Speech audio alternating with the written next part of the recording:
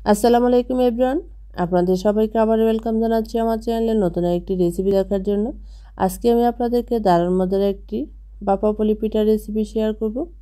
এই পিঠাটা তৈরি করা যতটাই সহজ, খেতেও খুবই মজার।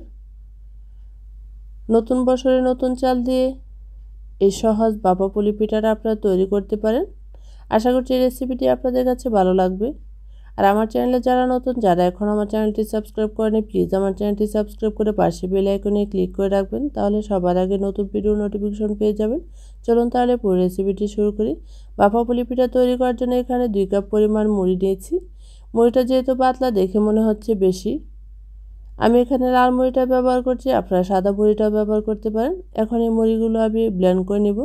তাই এখানে আমি একটি হ্যান্ড ব্লেন্ডারের জগের মধ্যে মুড়িগুলো ডেলে নিচ্ছি। আপনি এখানে ব্ল্যান্ড করার জন্য যে কোনো ব্লেন্ডার ব্যবহার করতে পারেন। অনেকে এটা মুড়ির ছাতু বলে। এখন পুরোটা মুড়ি ব্লেন্ড করে নেওয়ার পর দেখুন গুঁড়াটা কীরকম মিহি করে নিয়েছি। এখন এই মুড়ির ছাতুটা আমি পুরোটা ব্যবহার করব। এখন চুলায় একটি প্যানের মধ্যে প্রথমে দিয়ে দিচ্ছি এক কাপ পরিমাণ নারকেল কুড়া। আমার এই নারকেল কুড়াটা ডিপ ফ্রিজে ছিল, তাই আমি আগে থেকে বের করে নিয়েছি। এখন নারিকেল কুড়াটা আমি সরিয়ে নিচ্ছি। তারপরে এর মধ্যে আমি ব্লেন্ড করে রাখা মুড়ির ছাতুটা দিয়ে দিচ্ছি। এর মধ্যে আমি এক কাপ পরিমাণ গুড় দিয়ে দিচ্ছি। গুড়টা আমি এখানে নরম গুড় ব্যবহার করছি। আপনার গুড়ের পরিমাণটা কিছুটা কমিয়েও নিতে পারেন। এর মধ্যে আমি এক কাপ পরিমাণ পানি দিয়ে দিচ্ছি। এখন চুলা আঁচটাকে একদম লো আঁচে রেখে সব কিছু ভালোভাবে মিশিয়ে নিব।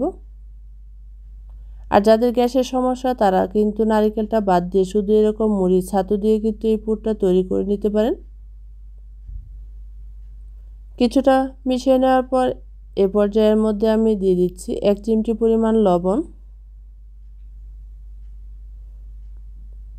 লবণটা ব্যবহার করলে মিষ্টি টেস্টটা অনেকটাই বেড়ে যায়। আর চুলার আঁচটাকে কিন্তু বেশি বাড়ানো যাবে না, একদম লো আছে ভালোভাবে মিশিয়ে নিতে হবে। সব কিছু ভালোভাবে মিশিয়ে নেওয়ার পর এখন এই পুরটা আমি একটি বাটির মধ্যে উঠিয়ে নিব। অন্য আরেকটি পাত্রের মধ্যে আমি এখানে দুই কাপ পরিমাণ পানি দিয়ে দিচ্ছি। এর মধ্যে আমি এক চা চামচ লবণ দিয়ে দিচ্ছি। পানিটা পুরোপুরি বলক ওঠার জন্য অপেক্ষা করব।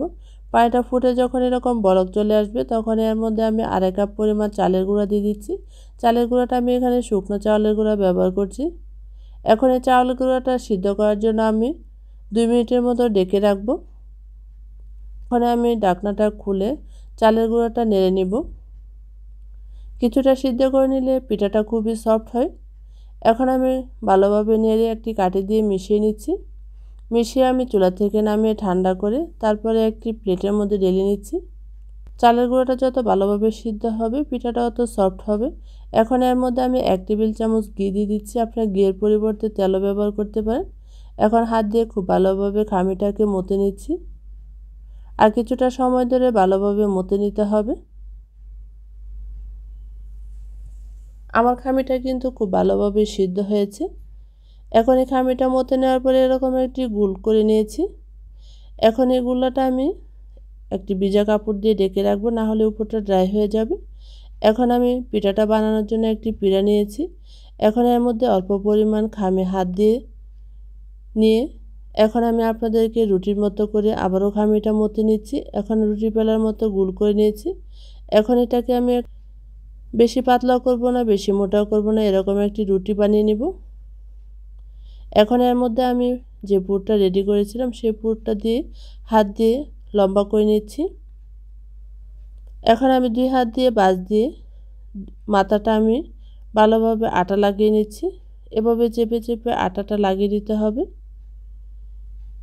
আটা লাগিয়ে নেওয়ার পর এখন আমি এক মাথা থেকে এভাবে বেঙ্গে বেঙ্গে পিঠাটা বানিয়ে নিচ্ছি। আপনাদেরকে হয়তো বলে বোঝাতে পারব না, আপনার স্কিনে দেখে বুঝে নেবেন আমি কীভাবে পিঠাটা বানিয়ে নিয়েছি। এভাবেই পিঠাটা বানিয়ে নিতে হবে। আপনাদেরকে বোঝানোর জন্য আমি আরেকটি পিঠা আপনাদেরকে বানিয়ে দেখিয়ে দিচ্ছি। একই রকমভাবে রুটিটা বানিয়ে নিতে হবে। আর রুটিটা কিন্তু বেশি পাতলা করবেন না, তাহলে কিন্তু ফেটে যাবে। একই রকম করে এর মধ্যে আমি পুর দিয়ে দিচ্ছি। পুরটাকে হাত দিয়ে এরকম লম্বা করে নিচ্ছি। তারপরে আমি দুই মাথাটা চেপে নিচ্ছি। এভাবে চেপে চেপে আমি পিঠাটা আপনাদেরকে বানিয়ে দেখিয়ে দিচ্ছি। একটু লক্ষ্য করলে আপনারা বুঝতে পারবেন আমি কীভাবে পিঠাগুলো বানিয়ে নিয়েছি। একই রকম করে আমি সবগুলি পিঠা এখানে বানিয়ে নিয়েছি।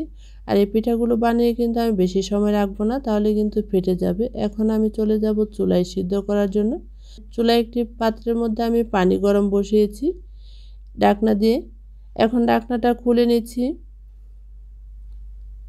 আমি এই ডাকনার মধ্যে কিন্তু রাইস কুকারে একটি পাত্র থাকে, সে পাত্রটা উপরে দিয়েছি।